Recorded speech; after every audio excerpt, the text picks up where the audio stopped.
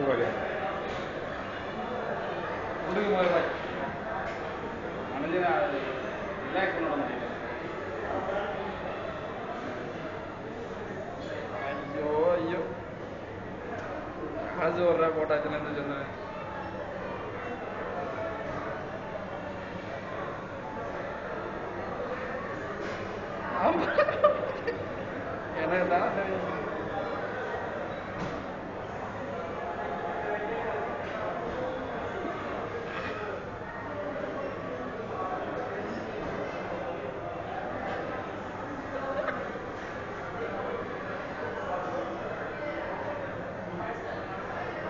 போதும் பாய்ங்க டைம் முடிய போதும் பதினஞ்சு தான் இருக்கு